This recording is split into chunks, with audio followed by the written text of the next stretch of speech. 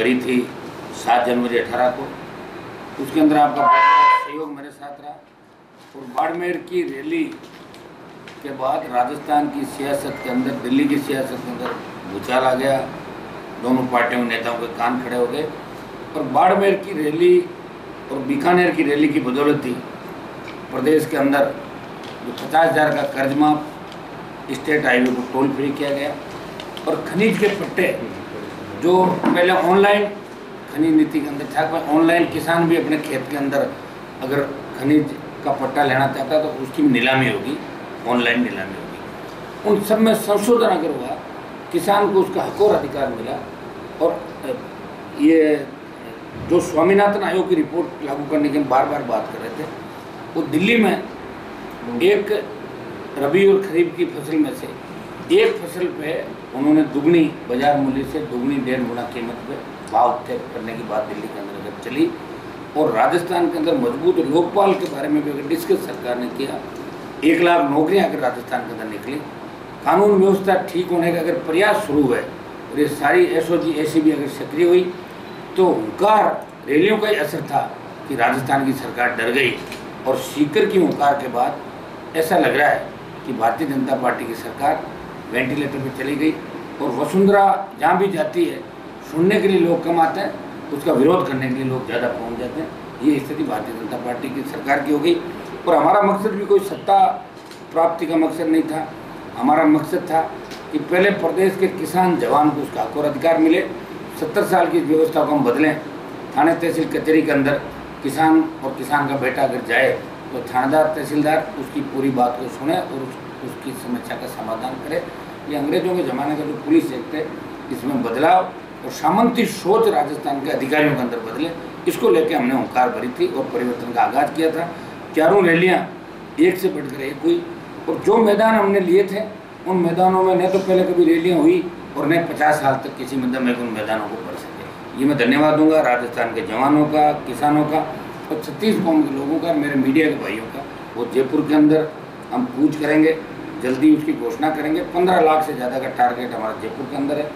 और उस समय हमें मुद्दे हमारे टोल मुक्त राजस्थान, स्वामीनाथन आयोग रिपोर्ट मुक्त बिजली और कर्ज मुक्त राजस्थान, जो बयासी हज़ार करोड़ का कर्ज है पूरा सरकार माफ़ करे, मज़बूत लोकपाल बने, बेरोजगारी भत्ता सरकारी चार लाख नौकरियाँ लगे।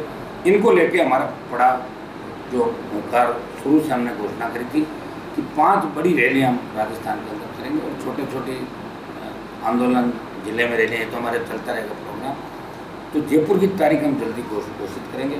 और जो आज कोई कलेक्टर मुझे बता रहा था कि हमें आदेश जारी हुआ है कि जितने भी जो नौकरी कर रहे हैं लोग, जिनको लेकर नरेंद्र मोदी वहाँ पे जयपुर के अंदर संबोधित करेंगे तो सरकारी कर्मचारियों को, सारे जो लोग हैं, उनको सबको एक लेटर दे दिएगा आपके खाने पीने की व्यवस्था बसों की हम फ्री करेंगे, आप जल्दी पहुँचो। तो पूरी सरकार मोदी की रैली को सफल बनाने के लिए जयपुर में जुटे। मोदी को आवश्यकता इसलिए पड़ गई कि हुंकार के आगे सारी बातें फीकी रह गई। कांग्रेस में हुंकार बढ़ने का दम नहीं राजस्थान के अंदर उनकी जो कांग्रेस का तो आप देखना अठारह के अंदर आगे जब चुनाव होंगे क्या होगा? इस बार जवानों ने कमर कस ली सरकार मजबूर हो गई और इसका फ़ायदा राजस्थान के जवान किसानों को मिलेगा ओंकार का। और जयपुर के अंदर हम बड़, बड़ी रैली करके पड़ाव डालेंगे जब तक सरकार मांगे नहीं मानेगी। हम राजधानी को घेरेंगे, सरकार को मजबूर करेंगे और उसके बाद नए फ्रंट की पार्टी की घोषणा जयपुर की रैली का करेंगे।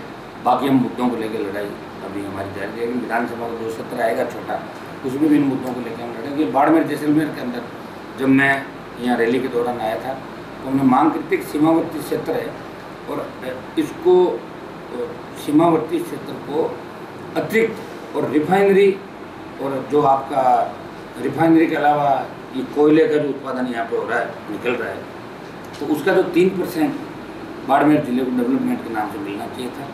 अभी भी सरकार करोड़ों रुपए इस डेवलपमेंट के नाम पे खा गई तो मैं प्रयास करूँगा कि ये पूरा पैसा बाड़मेर ज़िले के विकास के अंदर लगे, सीमावर्ती क्षेत्र का अलग से जो फंड आता वो भी लगे, जो मेन का उन उन रोड, गाँव की जो घटना आज मैं वहाँ स्वयं उस परिवार से मिलने के लिए जा रहा हूँ, क्योंकि पुलिस ने अपराधी को पकड़ लिया।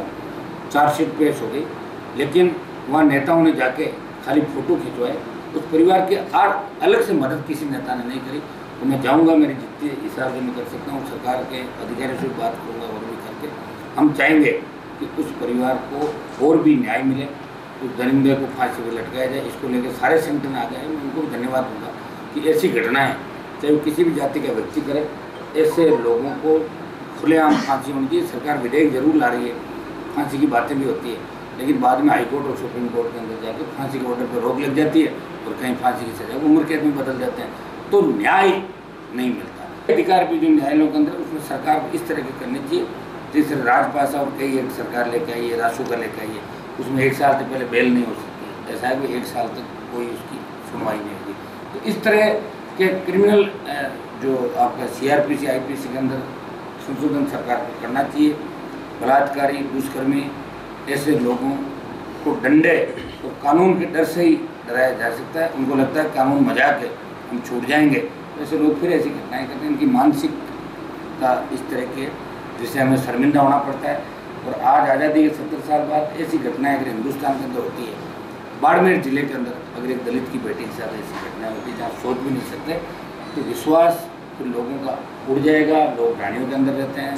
अगर इस तरह अपने ही लोग छोटे बच्चों के साथ दुष्कर्म की घटनाएँ यहाँ के ही लोग करेंगे तो फिर ये इसका मैसेज पूरे देश के अंदर भेज जाएगा। दिल्ली की घटना के बाद राजस्थान में इस तरह की घटनाएँ घटी चाहे सीकर के अंदर हो, अभी जो मंदसौर के अंदर घटनाएँ हुई, इन पर निश्चित रूप से सरकार को ठोस कदम उठाना चाहिए। सरकार को लोकतंत्र की आड़ के अंदर, सरकार, संविधान की आड़ के अंदर ये कह देती है कि भाई हम किसी को जान से नहीं मार सकते। लेकिन ऐसे अपराध करने वाले लोगों को सरेआम फांसी होनी चाहिए और एक टाइम लिमिट तय होना चाहिए इतने दिनों के अंदर इस मामले का डिस्पोज हो आप फांसी की बात तो करते हो, लेकिन फांसी में कितने लोग लटके रखा राजीव गांधी, इंदिरा गांधी को मारने वाले भी पूरे फांसी पर नहीं लटके और कई बड़े बड़े कांड जिन्होंने कर लिए, उन आतंकवादियों को रिहा कर दिया गया, छोड़ दिया गया, सरकार ने मुकदमे वापिस ले। लिए उन लोगों को क्या होगा? बम विस्फोट के अंदर बॉम्बे, जयपुर, जहाँ बम विस्फोट हुए, उनमें भी लोग बरी हो गए। लंबे टाइम ट्रायल चली, कोई बेल पे आ गया, कोई बाहर आ गया।